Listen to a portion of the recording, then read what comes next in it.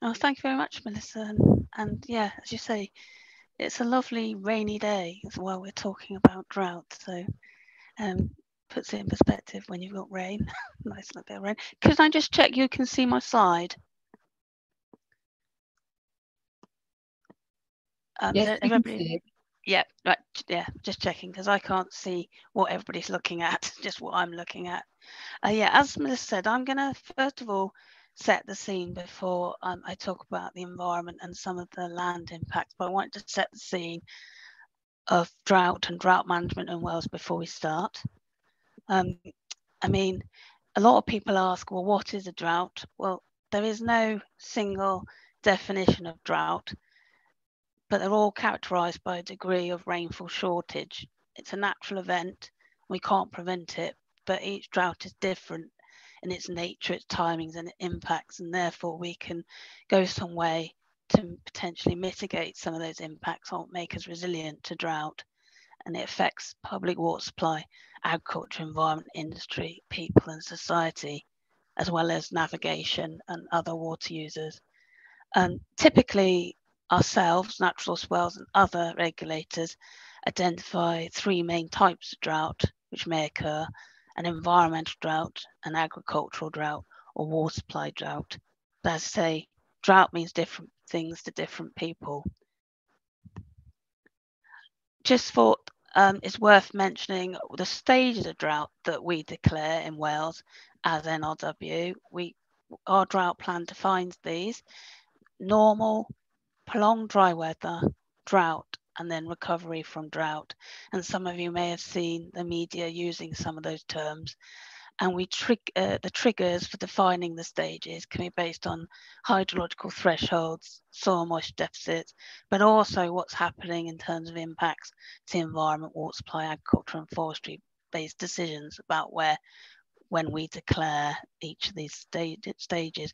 But it's worth noting and Tom may touch on this, that water companies have their own drought plans and therefore their stage of drought might be slightly different. Some of the history of droughts, well, in, previously we've had quite significant droughts, particularly in 1976, 1989, 1995, but the last time we actually declared drought in Wales was 2005, 2006. But we did experience prolonged dry weather, that first stage of drought in the summer of 2018 and 2020. But really, 2022 was the first time we had drought declared across the whole of Wales. That's not to say that in the previous years we haven't seen impacts, though, to agriculture or private water supplies. But as a whole scale drought, 2022 was quite a, a notable year. And, but why was it notable? Well, I'll go into that in a minute, but I just want to remind people of who manages drought in Wales.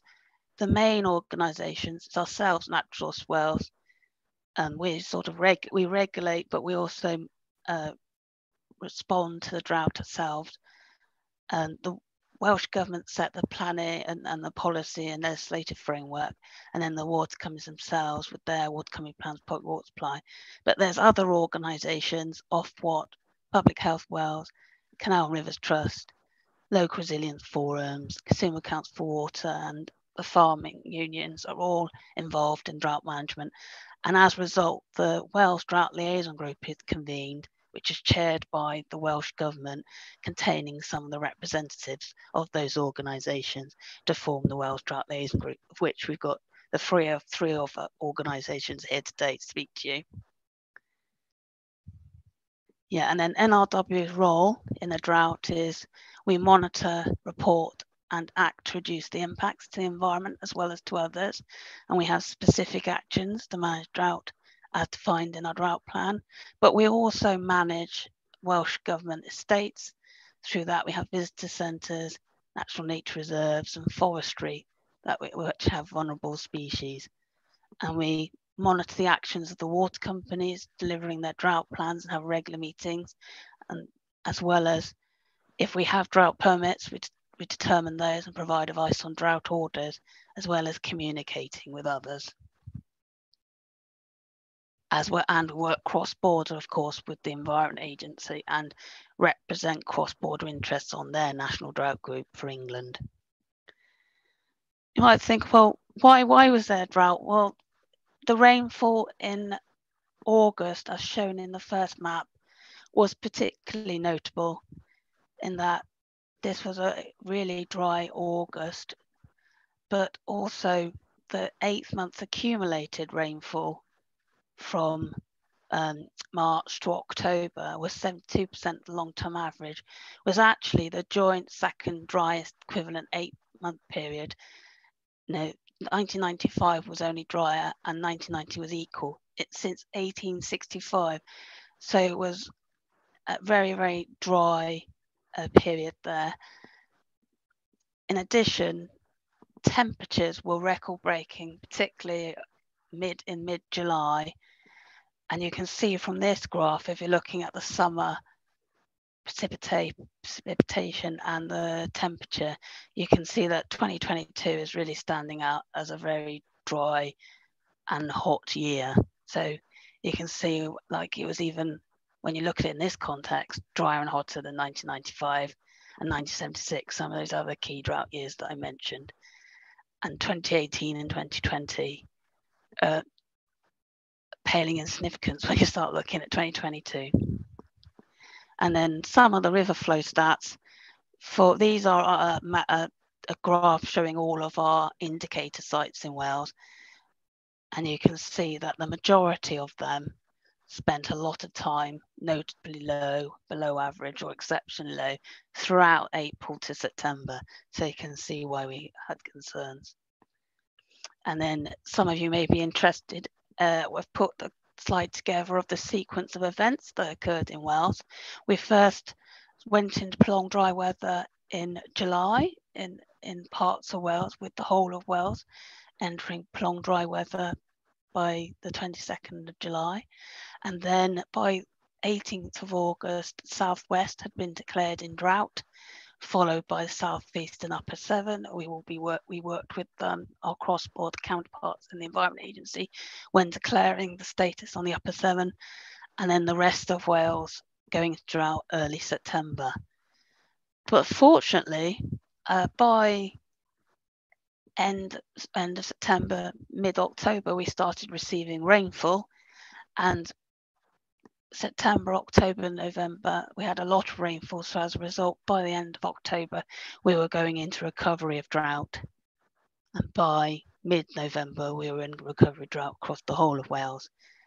Um, we still had concerns for groundwater at that time, and therefore uh, we returned to normal in January as a result of uh, the groundwater. And I'm pleased to say we're still currently at normal status. Um, now, some of the impacts that were had, um, some of the concerns we had during the Plong River drought uh, led to a number of incidents, but also observations on the ground with rivers drying up, which in itself meant that there was concerns for some abstractors and there was license restrictions in place and other users such as navigation or recreation had concerns. But we had incidents reported around water quality concerns, dissolved oxygen, fish in distress or killed, uh, as well as um, some uh, potential uh, concerns for low flows and illegal, potential legal obstructions that are being investigated. Some uh, notable examples of this is the River Clwyn and the Clwyd catchment dried up, and we also had uh, rivers, the River Dee tributaries drying up. And that happens sometimes in previous dry years, but not to the extent it did in 2022, where we had to have uh, weeks and months of the flows being low or dry. One example you may have seen of fish in distress was on the River Ewenny, where um, low flows were exacerbated by a sinkhole where the water left underground and a significant stretch of the River Ewenny uh, was affected. And the river temperatures at the time was meaning there were concerns for fish, for minnow, for stone loach, bullhead, and trout. Um, on this circumstance, we did carry out a fish rescue uh, and other circumstances we don't necessarily depending because it adds stress to the fish. But you may have seen that in the news. And some early indicator evidence being gathered by the fishery colleagues for tagging of salmon smolt on the Usk passing there uh, below Newport into the estuary has indicated that in 2021, which was a wet year, 67% were tagged migrating past this point. But in the 2022 dry year, there was only 24%. So that's a 43% reduction. So you can see you know, the consequence of what the dry year was having on fisheries. It wasn't all um, uh, negative effects.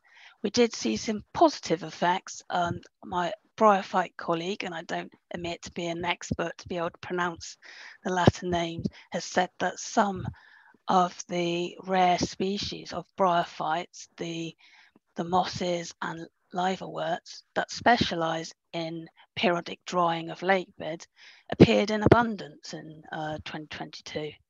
So uh, we saw some some benefits to some species, but um, our colleagues on, are still determining some of the impacts to ecology in general because obviously they have to get results of their surveys that they would have been doing in autumn and this spring to see what the lasting effects were. Um, of course, I was just focusing on rivers there, but we've also got land impacts. Um, and uh, my colleagues have uh, given me some some examples here where we they were seeing dried seepages on our nature reserves, on our SSIs, and the dune pool at Newborough in August 2022, but also grasslands effects. I know the, the picture is showing 2018, but my colleague says there was a similar picture in 2022 where you can see the grassland effect over a period of time throughout, throughout um, droughts and it's worth noting that we also had a few wildfires on our estate, uh, which which we I had to respond to, but predominantly happened those during the heat wave early on in July and August. So the rain, when the rain came in the autumn, that helped appease some of the concerns.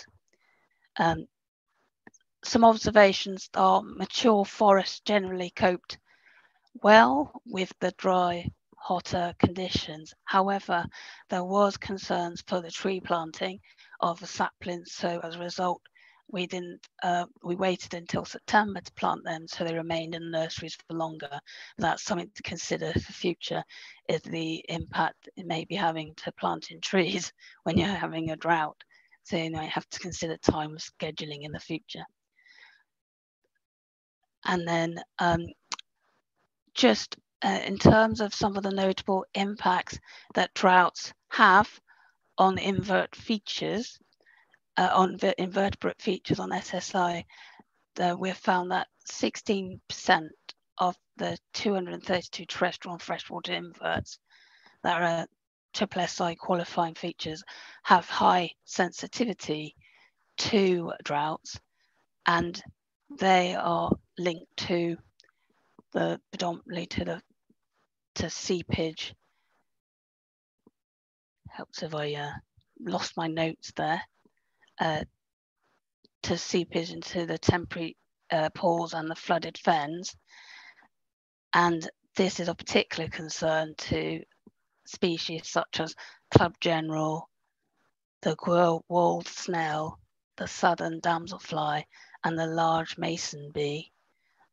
And during 2022, the fens of Anglesey and the Llŷn Peninsula were very dry in July and August, and therefore the elements of invertebrates and fauna were scarce or even absent, such as crane flies, snail killing flies, and some soldier flies. I'm avoiding saying the Latin names, but if anybody wants to know them, I can send them afterwards. I don't want to embarrass my pronunciations. Um, and we also saw um, the wetlands on the Wern Arad triple SI site on Anglesey also completely dried up, where there's import important species, the club general, uh, where larvae like to sit, sit in the aquatic calcareous seepage and affects the Geyer's whorl snail. yes, so there were some sort of notable observations of the impacts that the drought are trying to happen on the invert features, which if with climate change, potentially, obviously, there's species sensitive there. And we're all also still gathering evidence of surveys that we took on um, our mammals and potentially um, there was some impacts to some of the water voles because of dried up uh, burrows and therefore we're know, having a look to see whether there's a forthcoming management plans to mitigate future drought events where we saw some notable impacts on water voles. And then just to conclude, I just want to give an overview of some of the actions that we took during the drought. And you may have seen some of these news article headlines that I've got in the slide pack here. Um, we were current, we were monitoring closely the situation.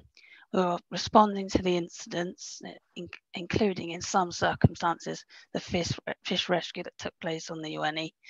We were assisting the fire service to help with the wild uh, fires and deploy, deploying helicopters and other activities to manage fire on our land.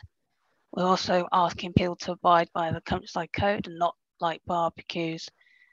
We're issuing advice to anglers during the low flow, high temperature period, as well as uh, requesting uh, Welsh Water to make some fresh releases late uh, in July and early August to aid flows and also cool the water temperatures down.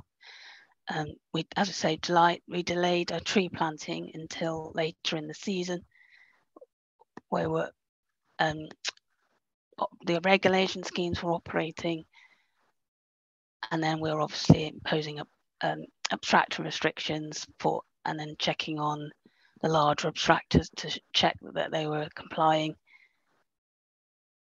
And we're also discussing potential voluntary restrictions for some of the larger abstractions for those that were previously exempt, and then talking with the water companies and liaising cross border, as well as attending the Wales Drought Liaison Group and responding to other requests. And the next steps for us now is we are reviewing our post drought lessons and then identifying recommendations and actions for improvements um, these will these are yet to be finalised internally, but when they are, there'll be a series of actions we make make improvements to our drought plan, but also some will influence drought planning uh, policy and, and, guidance for the future, and will involve need talking with the Wales Drought Liaison Group membership, as some were in partnership with the other sectors. So thank you for listening. I will sharing so that I can hand over to Gareth sharing. Thank you very much, Tracy. I couldn't see anyone. Sorry, Melissa. You're on mute still. Um, I can hear you, Melissa. Yeah. Okay. Uh, so thank you, Tracy. Uh, our next speaker is Gareth I can't hear you. Mm.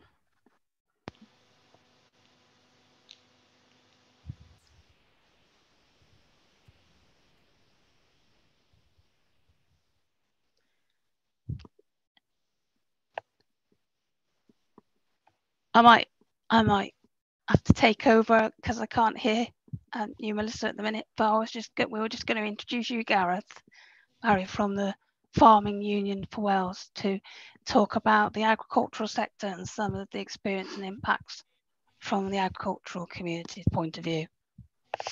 And you. Uh, yeah, thanks. Uh, you share your screen? Thanks, Tracy. Yeah, we'll, we'll do now. Um, give me a second.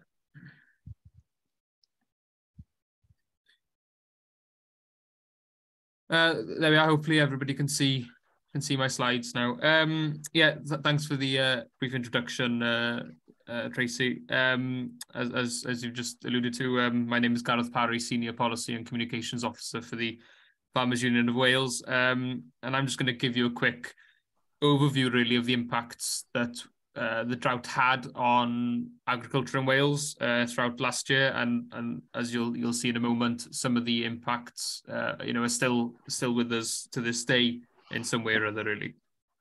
Um, so just to kick off, um, I thought I'd go through go through a couple of um, initial impacts or reports really that we had from our FUW members um, last year when when we were sort of going into the official drought status. Um, so um, sort of in reference to to Tracy's timeline there really, which was sort of the the beginning of August when we were in official drought status. Um, and these are just a few of the reports really that we had. Um, so starting from the north of the country, um, we were having reports that silage crops in the summer were down by a third. Um, many were already feeding their full, full winter rations to their livestock, um, which obviously um, meant that uh, you know they, obviously most of them will still be feeding winter rations uh, maybe up to this date, um, but uh, you know it's only sort of now that they'll be starting to feel in the effects of any fodder shortages um, due to the early feeding of those rations last year. Um, and then at this sort of first breedings, uh, breeding ewe sales uh, in the summer last year, ahead of the uh, breeding season last year, um, immediately we saw a fifteen pound per head um, decrease in those prices simply because farmers were trying to offload um, stock um, due to the fact that they didn't have enough fodder to feed them, um, and and they knew that um, that was one of the, the, the ways that they could sort of mitigate the impacts that they would have um, over the winter that's just gone. Um, if we move down to Pembrokeshire, um, you know, uh, probably worse off still. Um, we, we saw springs, boreholes drying up. Um, land was being burned, so not only was grass not growing, it was it was all it was burning what burning off what was already there. Um, again, many supplementary feeding as well as, as we saw in North Wales, and and that obviously had a, a, a further impact on loss of condition in lambs uh, and you know earlier harvesting of crops and silage, etc. So uh, again, quite a common theme really across across the whole of the country. um, I'd say in particular some reports from Brecon. We had uh, sort of germination failures for some sort certain crop species. Uh, and this resulted in some farmers having to seek derogations from their environmental schemes, such as Glastir. Um, so uh, I'll come back back to that in, in a moment. Um, South Wales again, uh, a similar sort of um, similar sort of picture. Um, but you know, many there really struggling to take even a second cut of silage. So you know, by the time you get to August, um, you know, many were struggling to even uh, harvest what they had, uh, not uh, you know on top of the fact that they were feeding uh, rations from maybe their first cut of silage, so um, a bit of a double negative situation there. Um, I would say uh, some uh, particular impacts on certain farms really as well. Some in areas of special scientific um, sites of um, special scientific interests, triple SIs um, in some of those areas, the actual water sources for, for cattle were drying up, such as streams, etc. Um, and they were also having to deal with increased um, um, farm fires or yeah, you know, land fires in the south of Wales, which went to an amber alert um, during this time as well, which Tracy has already alluded to. Um, and when we consider all these sort of impacts, in particular when it comes to fodder, um, many feeding winter rations at a very early stage. Um, there was some reports from Ireland uh, facing similar similar issues, um, and some research research over there found that silage last year was was much less digestible um, because clamps were being opened up early, and obviously as a result of that, we had a more of a um, more of a risk in terms of um, mycotoxins, etc., in the silage. Um, so so, so you know, it did it did reach that stage where, where we, we were potentially seeing animal health and welfare um, issues as well uh, because of the drought. Um, if we look then beyond August, look at the longer term impacts that we've seen because of the drought. Um, we saw a temporary use ban for um, domestic water users, I would say, in Pembrokeshire. Um, and while that did exclude those that needed to use water for business use. So obviously that included the, the provision of, of water to livestock. Um, it um, you know a, a, number of farmers um, did have to revert from their private supplies uh, to mains mains water, which um, although uh, as I mentioned the, the temporary use ban didn't affect them, it obviously did have a huge effect on their cash flows where they'd gone from a position where their water water bills were zero or, or near, near zero uh, because of their private supplies um, and then having to pay uh, main supplies particularly for intensive um, water intensive systems, you know, mainly dairy, I would say, or, or those using irrigation systems for, for crops. Um, and obviously, as you know, we were having regular meetings of the drought liaison group, and there were regular questions being raised as to exactly what, what support was made available for farmers during this during this period.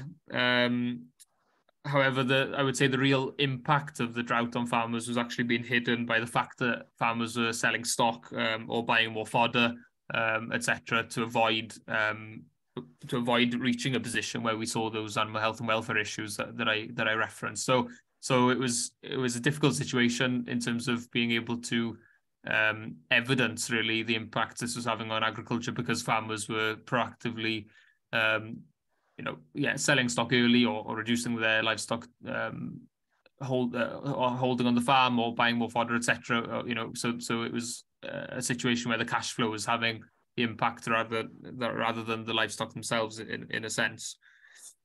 Um, and you know we, should also consider this and the fact that you know input costs last year went extraordinarily high, um, particularly when we consider fertilizer, etc.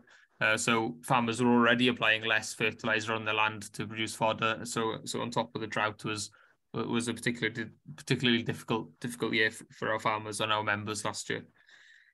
Um, and uh, yeah, as I already mentioned, this obviously had a, had an impact on um, on our cull ewe prices as well because because of the fact that so many farmers are trying to uh, trying to offload stock um, uh, where where they could. And I would say when we consider the longer term impacts of the drought, this this and, and the next slide gives a good overview really. Um, so this is a graph from Hybu Cig Cymru, um, which shows the prime lamb live weight prices auction markets in Wales up to the 18th of February this year. Um, and so on the 18th of February, the uh, average sort of 228 pence per kilo, uh, which was seven pence down on the previous week. Uh, but it was 33 pence down on the week, uh, the same week last year, uh, and 4.6 pence below the five-year uh, average.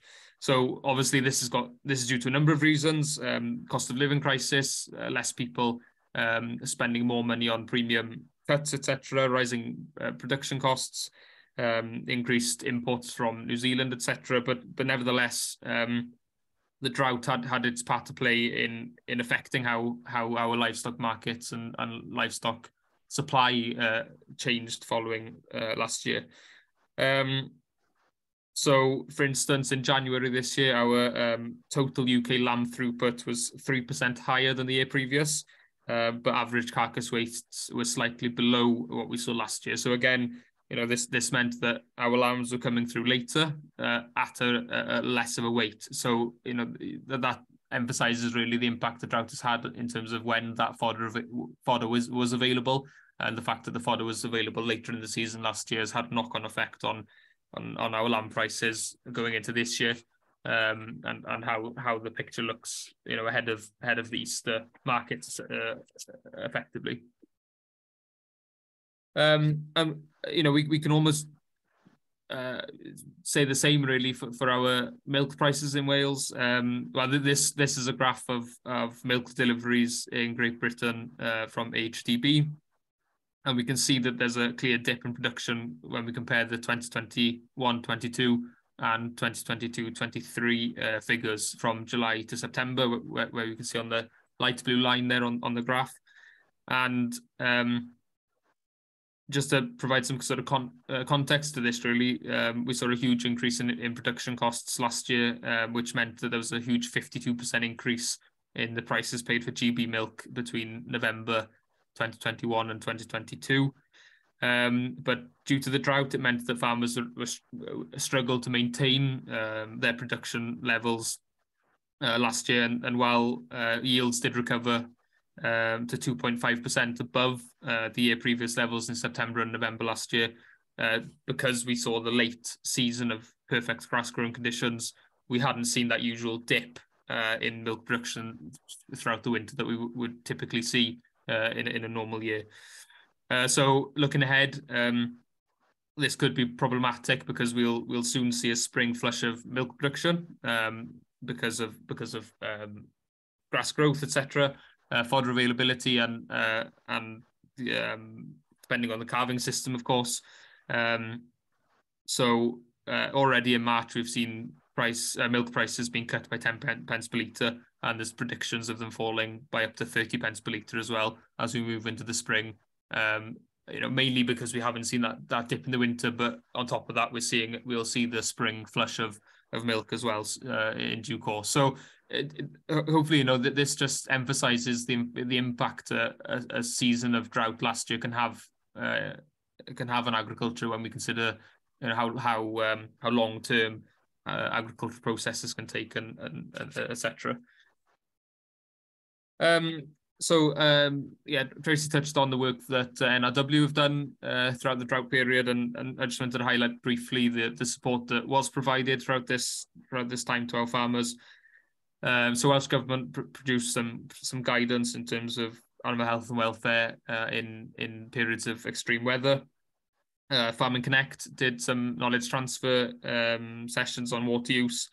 Um, there were regular dry weather updates from NRW.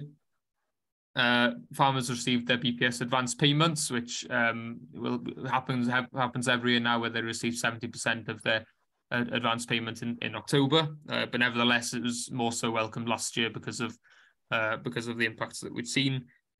Um, and and we also had the regular drought liaison group meetings with with stakeholders and and uh, it was a welcomed opportunity for, for the farming unions to be part of that group really to to understand exactly what was going on uh, and and to share any support available really to our farmers um, so so they could try and um, mitigate the impacts of this drought as much as possible really and notwithstanding the fact you know there are a number of things uh, as I've already alluded to really that, that are out of our control when it comes to uh, market supply and demand and and and weather patterns. Um, so look, just looking ahead to the future, um, you know, we believe that it's essential that we are pro proactive when it comes to uh, responding to prolonged periods of dry weather, uh, rather than be being reactive. And uh, hopefully, you can see the the quote on the right hand side there, which is from one of our uh, statements that we wrote last year in response to the drought, which it just emphasizes emphasizes that while the no two years are the same when it comes to weather, it's it's important that we can try and come up with effective solutions uh, that can be established and implemented in future years when when we see um, a build up really of, of dry weather, um, according to figures from from people like uh, NRW and again Tracy's alluded to how uh, you know we, we we need to evaluate the um, suggestions and actions that we that we had last year and try and uh, be more proactive when when it comes to future uh, future dry weather events. Um, and you know this can involve regular meetings of the drought liaison group, um, and and maybe trying to start those meetings um, even even in the spring, effectively to just try and get a, a picture or an overview of where we are uh, since the first of January um, in terms of, of rainfall. Um, you know, uh, grants should also be available to help farmers collect and store rainwater uh, in preparation for these events. Uh, this is something that we raised last year. Uh, this could potentially be part of the optional layer of the sustainable farming scheme, um, rather than part of the universal layer that's that's currently uh, being proposed. Um, we also received some reports last year of some farmers going through the planning process, and as part of that process, they had to carry out water uh, percolation tests as part of uh, for the, for the local authority. Uh, and again, you know, things like that needs need to be thought of when when doing those sort of processes in in periods of drought. Uh, so again, I think a common sense approach would work here. Um, when when using you know potentially thousands of gallons of water to do these sort of tests, uh, depending on the application, of course. Um, these events also bring into sharp focus the need for drought-resistant grass and clover vari varieties in the UK. Uh, I think a number of these these species in, in the past have been developed for um, other countries, uh, for other climates across the world. But but obviously, you know that there is due to climate change and other reasons, there's obviously a need for for us to to to, to also adapt in the UK when when we when we see our warmer summers and, and wetter winters. Um, as I mentioned earlier on, in terms of Glastir derogations, and uh, we understand that um, there were some derogations were offered to some farmers last year on a case case by case basis. Uh, and while this wasn't 100% clear whether that meant the farmer having to sacrifice their payment for that option in, as part of the scheme, uh, there were some delays in, in in responding to those farmers. So so again, you know, if we can sort of preempt as, as far as possible uh, and be a bit more proactive with these sort of events, then then we can try and put those things in place to, to make sure that farmers can be as um, flexible as possible, really, when they're faced with these difficult um, situations. Um, and finally, um, and this this applies to the Welsh and the UK governments to an extent, really, is that um, when when farmers are facing these difficult um, these difficult times, um, that you know we need to avoid a situation as much as possible where they are faced with additional red tape. Uh, and you know, for instance, last year farmers were starting to prepare for the uh, second stage of the water resources regulations that came in on the first of January, and um, you know having to having to deal with uh, certain derogations, selling stock, um, you know, buying more fodder, uh, impacts on the cash flow, etc. You know, it's it's um, you know we need to consider that that a lot of things can come at once and and try and avoid those situations as much as possible where they are overloaded with all sorts of changes and and ad, ad, adaptations. Um, so yeah, I'll I'll um, I'll leave it there. Thank you very much. I'll there's my email address if if anybody wants to get in touch, and uh, I look forward to the to, to the questions at the end. Uh, thank you, Chair. Thank you so much, Gareth. Next, we have Thomas Elmet. Tom is the South West Area Water Resources Manager for Welsh Water. He covers the patch from Barry to Borth. He provides technical support to drought plans, water resource management plans, and abstraction license changes, as well as technical advice and management of operational responses to the dry weather events of 2018, 20, and the drought of 22. Over to you, Tom. Thank you, Melissa. I'll share my screen, and if you could just confirm that my audio is coming through okay. Audio is fine, Tom. Great.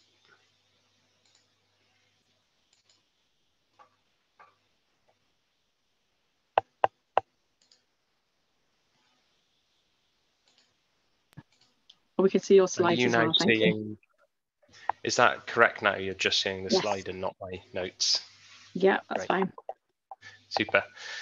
Yeah, so thank you for the introduction and good afternoon, everyone. Um, so I'm going to talk through the Welsh Water experience of the 2022 drought. Uh, my, uh, as Melissa said, I work in the water resources team, so it's our job to make sure that we've got enough water to meet all of our customers' needs without impacting the environment and doing that in the most cost effective way that we can. And so our team is placed right in the thick of how we manage our operational response to dry weather and drought. So I'm going to cover the preparation and monitoring that we uh, undertake, a timeline of key events from 2022, the operational response of the company and a huge number of teams and colleagues involved in that, and the response of our customers to, in particular, to the temporary use ban. That photo in the background is from uh, Aled Isaf, reservoir in North Wales, and was taken in 2022. And you can see how low the reservoir level was. But most of my photos in the slide deck aren't from uh, 2022. So this uh, screenshot of a document on the left is our drought plan from 2020, which sets out how we manage drought. Uh, the drought plan is a requirement of the Water Industry Act in 1991.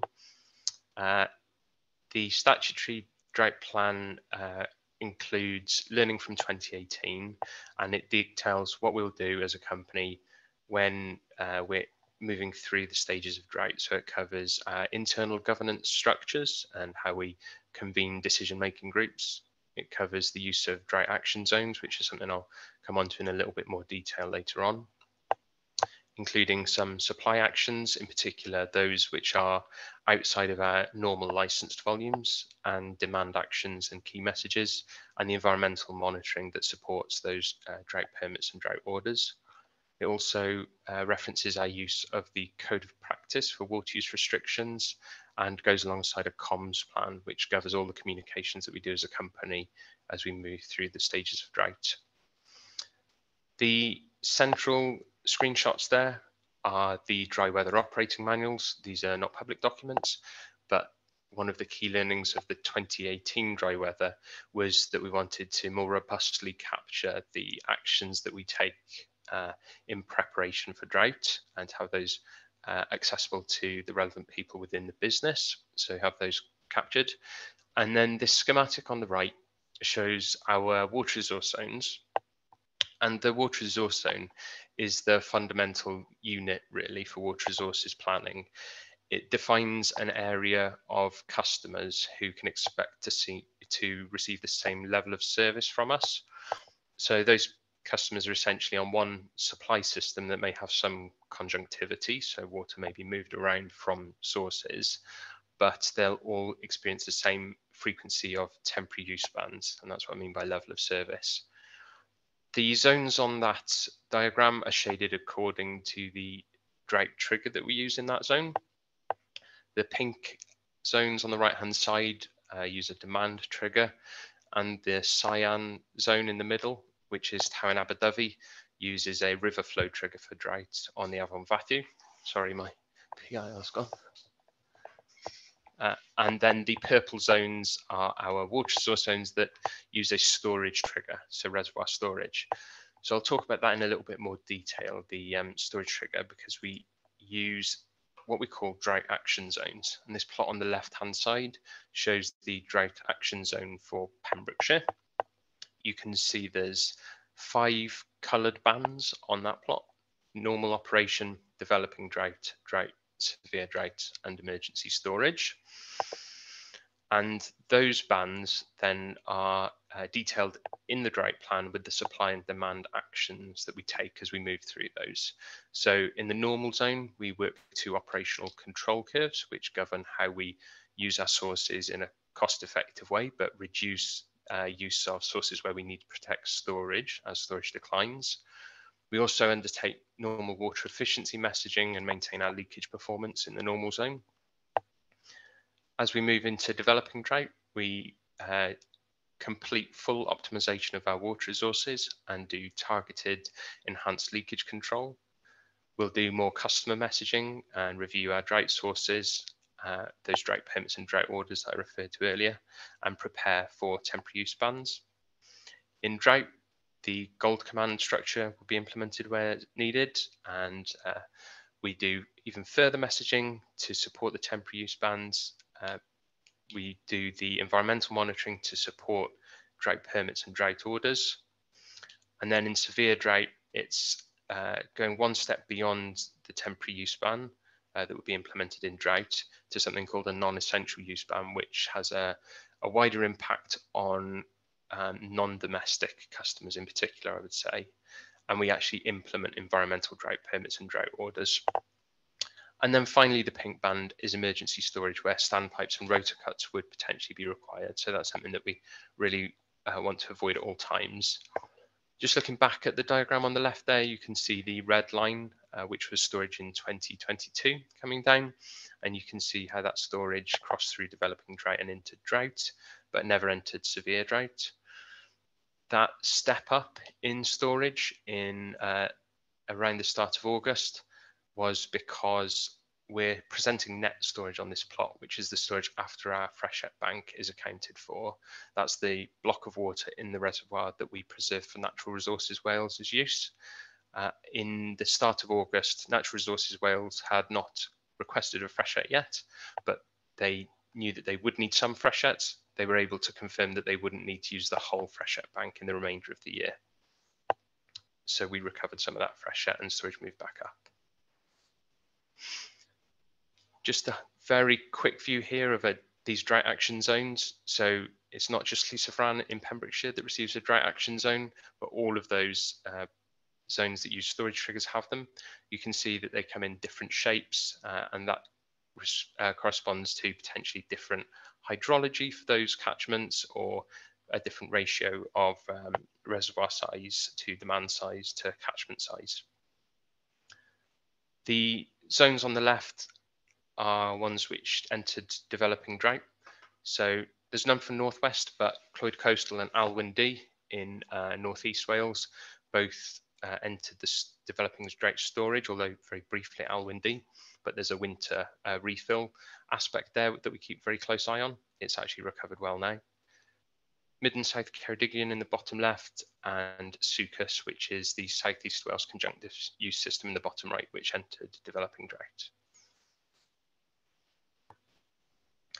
So a couple of the key events outside of the timescale for the temporary use ban. Actually, I'll just click back to make sure I cover that timeline for temporary use ban in Pembs. Uh, 17th of June was when Pembrokeshire was declared in developing drought, and the 19th of August was when we moved it into drought formally. Uh, 25th of October was the point at which, and this was the red storage which isn't shown on here, the, rec the recovery of storage was sufficient to remove the temporary use ban. So yeah, a couple of other key points from that year. In February, uh, people might remember that we had three named storms in one week, ending on the 25th of February. And so the wet weather really ended with a bang, but then it was dry from that point onwards, really. Spring preparation commenced in mid March, and in April, we were starting to issue forecasts internally of what we thought could happen to storage through the year. In May, our head of service calls were convened, where the heads of service of various departments in, in the water supply side of Welsh Water were meeting um, to talk through the actions that needed to be undertaken.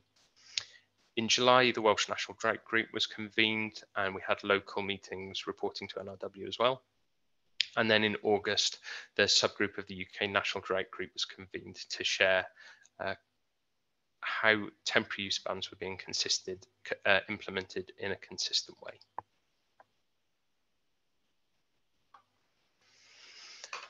Okay, so the next thing I want to talk about is the operational actions that our teams undertake to preserve water in our reservoirs and to try to prevent drought or to uh, protect resource for drought.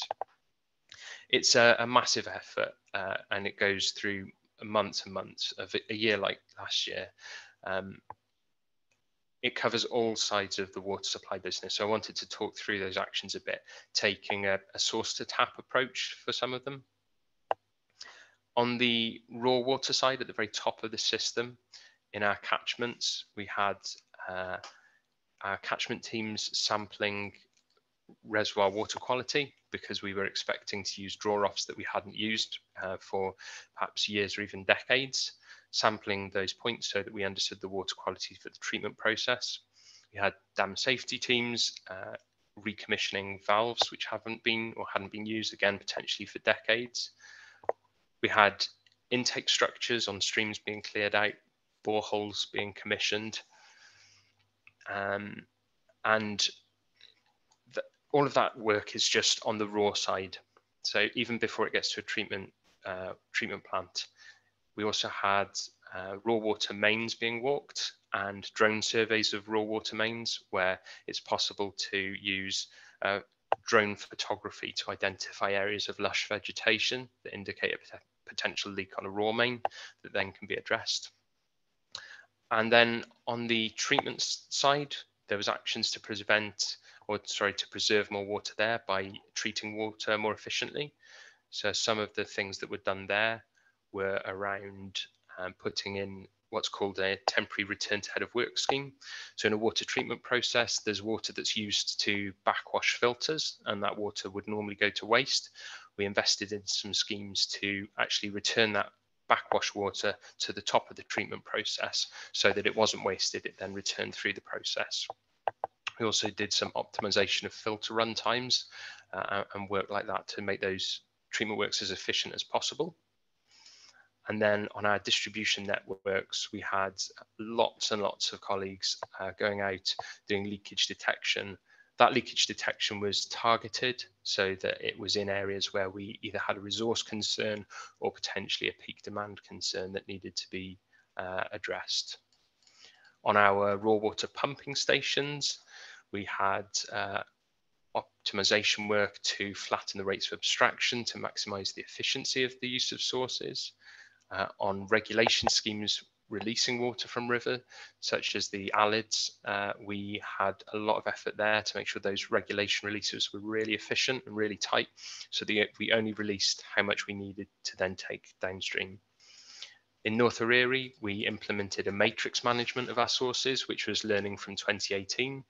Uh, and that matrix is a way for us to assess the reservoir storages across multiple parts of the system there and balance that use. We'd also implemented some schemes in 2018 that increased our capacity to move water around. So we had additional flexibility there for that matrix to be uh, applied. And we also had some additional conjunctivity that we'd implemented in 2018, particularly in Lleyn Harlech and Barmouth, where we were able to use uh, Llyn Tecwyn to support Llyn Bodlyn and Eiddew Um, so uh, I hope the point's clear there that there's an enormous amount of work that goes on within the business to do the right thing by our customers and by the environment.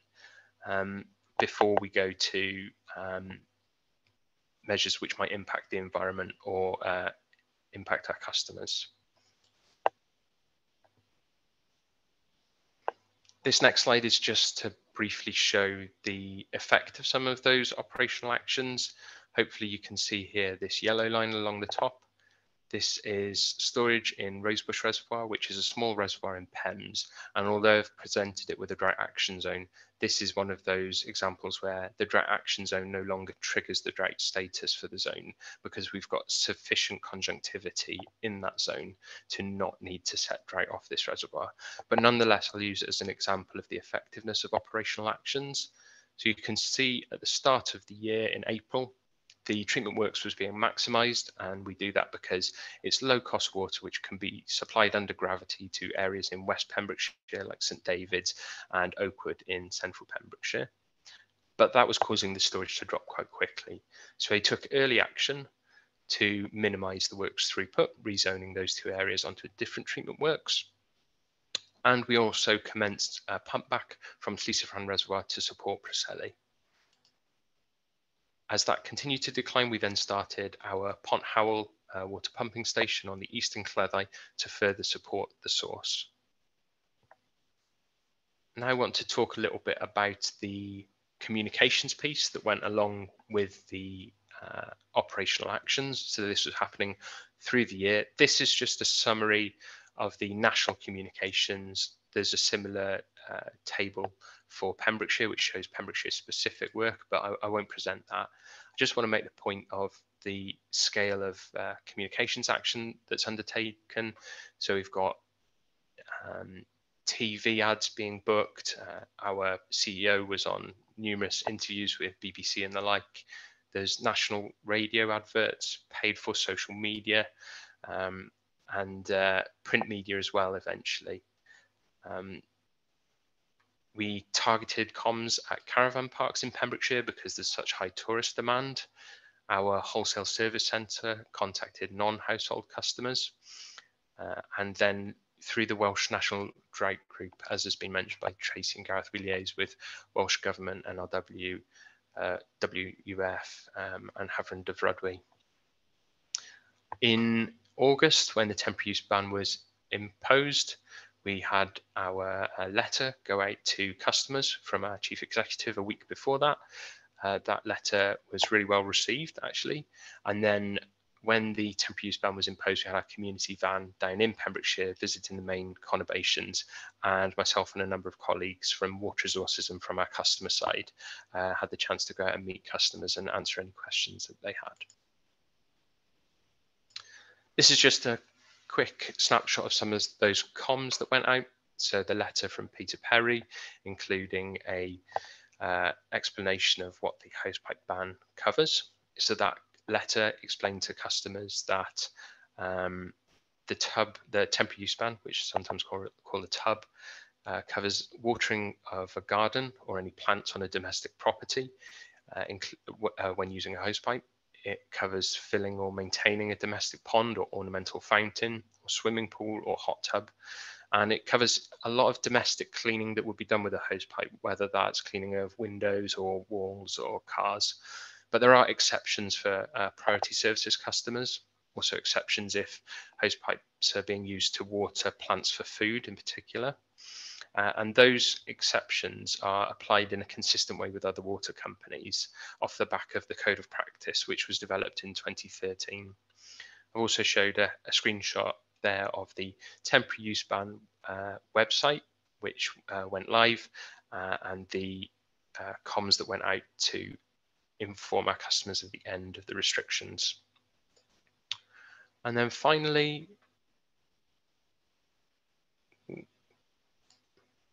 finally, the impact of the tub on customer perception of Welsh Water.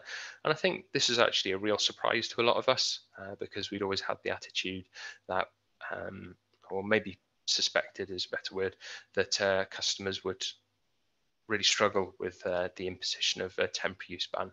But remarkably, of, um, of respondents on a survey that we undertook after the temporary use ban, uh, and 43 of these respondents lived in the impacted area in Pembrokeshire. 35% of those customers said that the tub had had a positive impact on perceptions of Welsh water. Customers understood that the tub was done for the right reasons, it was necessary and needed to be taken seriously, and there was a sense that limiting hosepipe use was a small ask.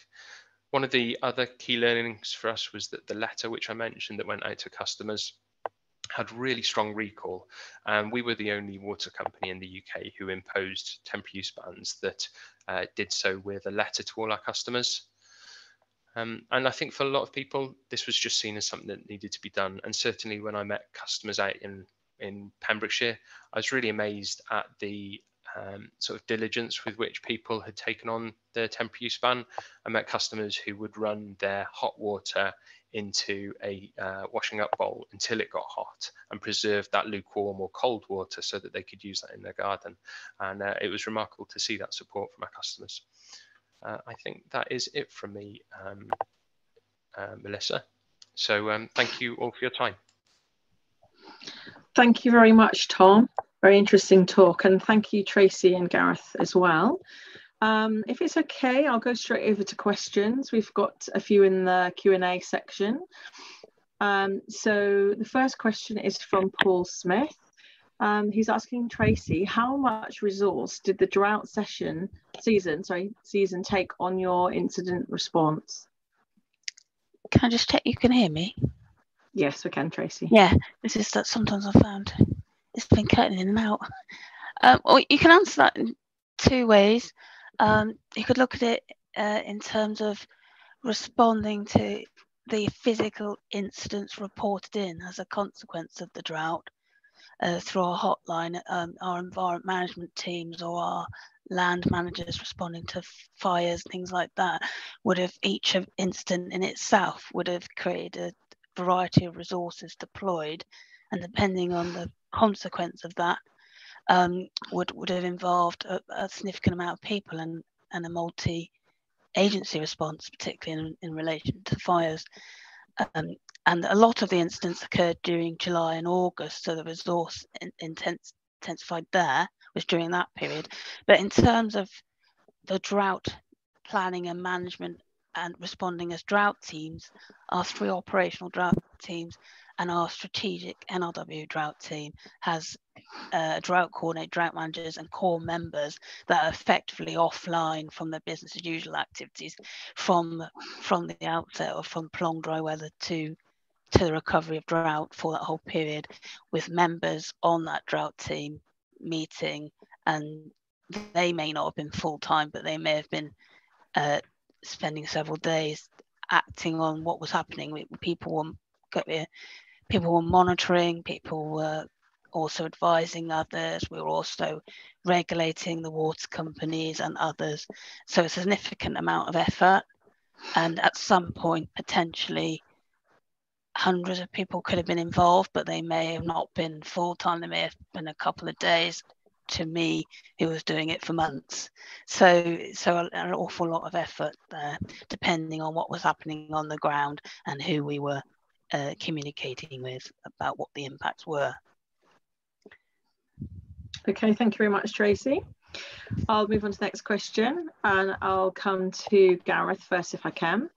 Um, so um, we don't know who this is from, but um, they're asking about if we were to experience another drought this year, how devastating would it be? And are there any actions we can take now to reduce the severity of these impacts? Uh, thanks, uh, thanks, Chair. Thank, thanks for the question. Um, yeah, I think I covered a couple of the, couple of the well, I covered the answer really to this question in, in, in my slides really, but um, you know, the, a drought can have a number of impacts on from an agricultural perspective at least, um, and many of those impacts can last um, you know beyond that that year, um, beyond that season, because as I mentioned, you know, a number of farmers were having to sell stock, breeding stock last year. Um, so obviously uh, that, that could have an effect on on how many breeding stock they have uh, in, in this year and following years. So it's you know there is a, certainly a long term impact depending on how severe it is um, in in that area or for, for that particular farmer, for instance. Um, but obviously, you know, no two years are the same, and I, and I mentioned that earlier on. So it's it is difficult to to predict how the impact, what the impacts uh, would would necessarily be, um, because, for instance, if you had a drought uh, in a year following a, a, really really productive and, and good growing year, then then the actual then you might not actually ne- necessarily end up with a fodder shortage because it might balance out over over over a two or three year period, for instance. So, um, but I but I, as I mentioned at the end of my presentation, um, you know, we can be more proactive with these sort of events, and it's the, you know the likelihood likelihood is that we are, that we will see more extreme weather events in future, whether that includes you know wetter winters, flash floods, for instance, uh, or on the other other end of the scale in terms of drought. So um, you know, for instance, we could have maybe a, a spring meeting of the liaison group in, in the spring just to see the outlook of, of, of the rainfall from the beginning of the year and, and hopefully try and predict um, what the what, what the rainfall and what the growing season will be like for the coming year and, and try and you know if if we think that, that it will be a particularly dry um, season then then potentially uh, bring some measures in place um, ahead of that time. So so when for instance, farmers with derogations, or or we need to see a, uh, a reduced water use in certain areas, then we can try and you know uh, be a bit more proactive with it. But uh, you know, as I mentioned, it's it's it's we all know that weather is is difficult difficult to predict in, in the in the long term. Great, thank you very much. Can I come to Tom now for your answer on this question? Yep, thanks, Melissa. So I think that we're in a fairly fortunate position in Welsh water in that all of our reservoirs recovered very well over the winter, in particular through October through to December. February was dry, so we did start to see reservoirs declining again, but they have now substantially recovered and we're in a healthy position going into the start of the year. I don't think that's the same for all water companies across the UK. Uh, and that's a result of a difference in hydrology uh, in the catchments of different companies, as well as the rainfall patterns that we've seen over the winter so far. In terms of our business preparedness for drought, I don't think that that's been impacted negatively. If anything, it's stronger because we have an improved understanding of how to implement temporary use bans and a bit more insight into uh, drought permits and drought orders, even though none of those were actually applied for in 2022, there was the process that was engaged with, and there's a lot of learning from that. So, if anything, I would say as a company, we're in a stronger position to deal with future droughts, uh, and we're fortunate in that hydrologically we're in a pretty decent position going into the start of the year. Although, obviously, as Tracy said, every drought can be different. So, if we had a drought this year that was longer than last year or more extreme in terms of the um, intensity of the drought, drier over the same period, we would potentially start to see a, a, a worse response in reservoirs. Okay, thank you, Tom. Tracy, how about you? Yeah, I mean, as as Tom alluded to, we were getting a bit worried about February because that turned out to be the driest February in 30 years. But and March started off a little bit dry, but the rainfall in the last week has has uh, returned March to a normal what you would expect. So the rivers currently are flowing well, should we say, and our land is quite wet at the moment. But we're monitoring the situation closely. It's worth mentioning, um, and we haven't mentioned it, is groundwater. Um, um, I think I'm right in saying that only about five percent of um, public water supplies on groundwater wells, but of course private water supplies are very light on groundwater, which is the remit the local authorities. And the groundwater um, had was lower than normal to the start of the year, so potentially they could could see concerns earlier for private water supplies than we would public water supplies. And um, Welsh Drought Liaison Group will be engaging and local authorities will be engaging. But we as yet to know really what are the long lasting impacts of drought. And so our surveys that are ongoing as we speak are, are year one, year five surveys of trees and things like that will give us some idea of the lasting impacts. And we're compiling a picture of that as we speak. And, and then any of the lessons identified coming out of review will inform our drought planning for the future and potentially inform future policy requirements through discussions with Welsh Government. So really we're watching the situation at the moment quite closely. But it's hard to predict, you know, what's going to happen. Of course, Tracy. Okay, thank you. I've got another question for Gareth now um, from Tiffany. Does um, NFU know the total economic cost to agricultural sectors across UK due to last year's drought? Uh, thanks, uh, thanks, Tiffany. I, I work for the Farmers Union of Wales, uh, not the National Farmers National Farmers Union. So, um, so I, I suppose the the the NFU for for, for England would probably you know would probably be the best to ask from from a UK outlook. But but I would say that the it's probably near impossible to to have a, an accurate figure as to how how uh, the drought has has cost farmers over the last 12 months and how much how, how much of an impact the drought has had on its own given the number of other impacts that we've that we've seen in terms of uh, um, uh, production production costs um, input costs uh, due to a, a, number of other factors such as the conflict in Ukraine for instance. So so I so I would say it's it's it's it would be extremely difficult to get uh, uh you know a figure just just for, for the drought. Um, but I think uh, you know following a drought in the US and Europe back in 2012, um, global food prices increased by around 10%. So you know hopefully that can give you some sort of indication as to uh, you know how severe the drought how, how severe the impacts the drought could have on on on you know not necessarily just production but but how that then will follow through in terms of food prices etc okay thank you uh, I'll move on to the next question um, from Neil. Um, he's asking, how are the springs in Pembrokeshire? Are they still showing below normal levels? So, well, yeah. Sorry. Tom or Tracy, probably. Yeah. If you, I was if just, you want to answer it, Tracy, go ahead. I was just going to say, obviously, we monitor some groundwater sites um, Grange Hill Garage is our site down there. And when I looked at, at the end of the month, because February was um, dry, it was was notably low, exceptionally low. But rain, groundwater is slow to react to rainfall, so I assume it'll still be showing that. But but given that we've had rainfall, I would expect it to rise. But in terms of the effect that Pembrokeshire Council would be the people you probably need to contact in terms of private wards like consequences. And in fact, it's fair to say um, we weren't hearing of many impacts in the Welsh Drought Liaison Group because we think that learning from 2018 and 2020 means that people have um, adapted themselves to, to um, you know, uh, redigging their boreholes out and things like that. So, so in fact, there was perhaps I think it's fair to say, Tom, isn't it? Perhaps less concerns in Pembrokeshire in 2022 than there was in the previous years in terms of private water supplies.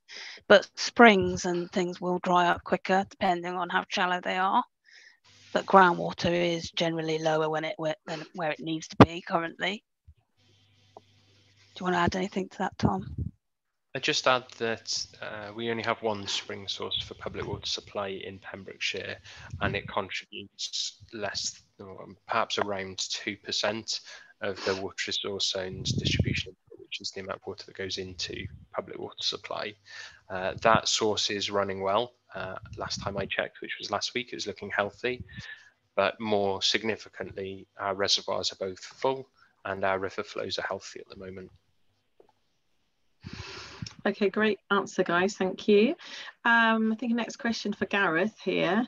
Um, is there any government grants for offline storages for farmers in Wales? Um, not that I'm aware of, actually. This was something that was raised in the drought liaison group last year. Um, as I mentioned uh, earlier on, um, you know, it would, would be useful for, for there to be grants available for farmers to store rainwater, mm. um, etc. Um, you know, ahead of um, events like like drought, like we saw last year. Um, but, I, but from my understanding, there's there's nothing available yet. And you know, if we if we look at the latest proposals for a sustainable farming scheme, you know, there, there is a part of that that, that at the moment at least will require farmers to have so so much uh, you know ponds uh, on on their land. Uh, now, you know that, that could become problemsome for some because I think it's it, it will be a, a universal action, so it will be a, a compulsory part of the scheme. Uh, but there's definitely an opportunity for it, for it to be an optional part of the scheme. So those those farmers who are in uh, those particular areas which are prone to drought, maybe that that maybe you know may want to go down that route and and install um, with the support from the Welsh government to install some sort of collections of facilities to help them during during the dry periods. Okay, thank you. Um, and I have a question from David, um, specifically for Tom. In the future, would uh, Welsh Water do anything differently in terms of communicating TUBs with customers, given how well it was received? For example, what's your thoughts on using new strategies such as TikTok? Yeah, I do love the thought of uh, hmm. our CEO on TikTok. Um, but as a company, I don't think we'd have any hostility to that. I, I, think we already engage in social media. We do Facebook, Instagram, and Twitter. So we're pretty keen on that.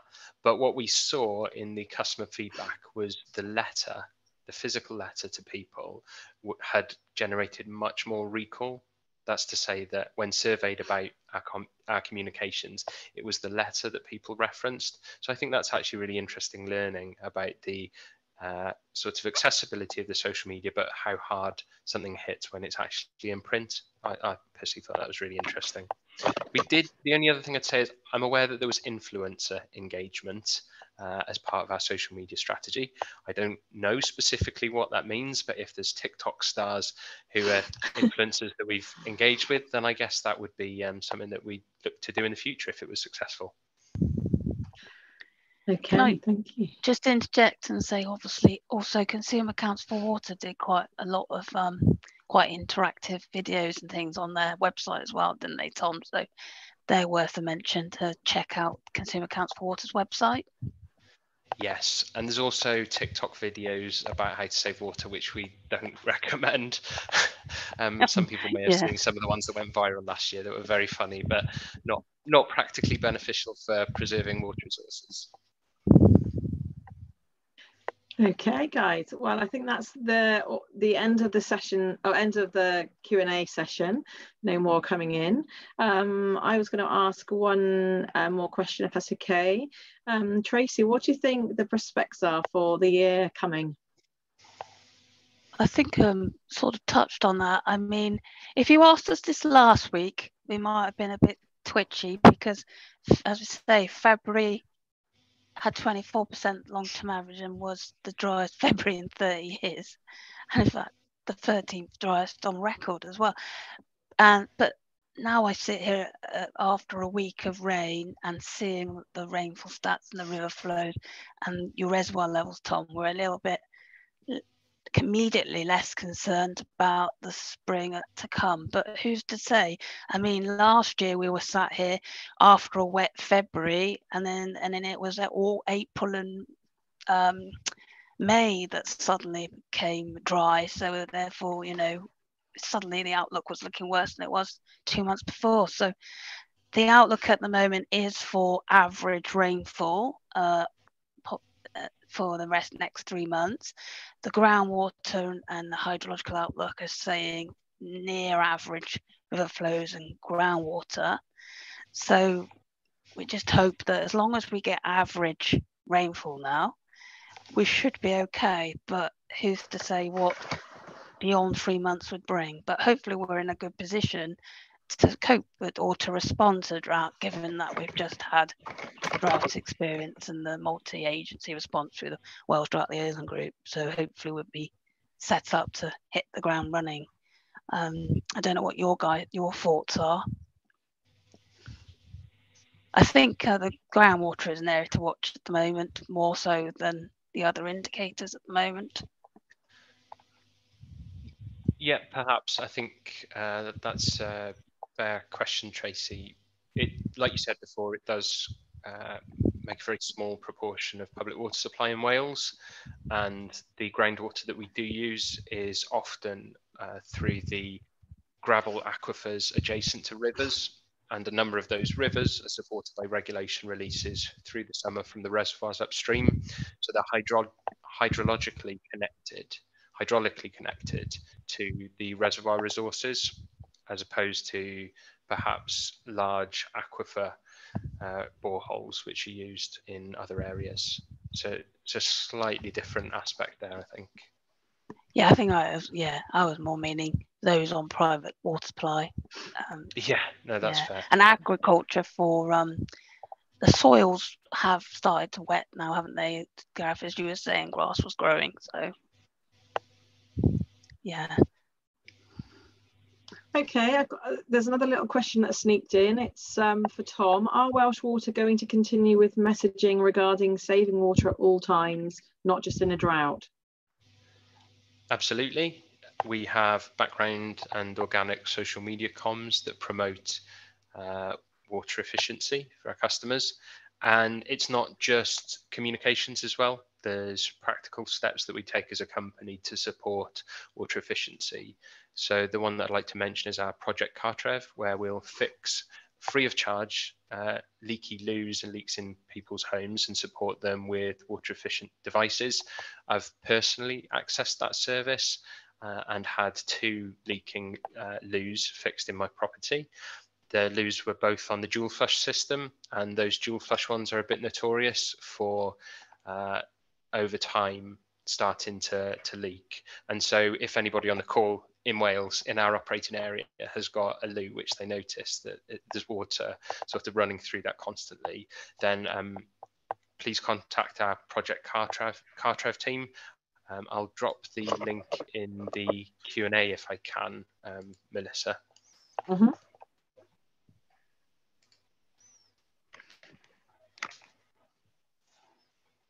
Okay, thanks. I think it's time to, to thank everybody now. Um, well, thanks, guys. It's like I say, it's been brilliant today having three speakers. Um, thank you very much for um, sharing your your sort of thoughts and information from your sectors. Um, Barbara, did you want to come in now and say something? I'd just like to thank um, the Welsh branch for organising listening to our speakers in particular. A very interesting talk. It's always very much appreciated the amount of effort that volunteers and all the committee members and organisers of this event um, put into events and um, look forward to your to some more, more events coming up. Thank you. I will say goodbye to everybody now then. Thanks, Melissa. Thanks, Barbara. Bye. Thank you very much. Take care.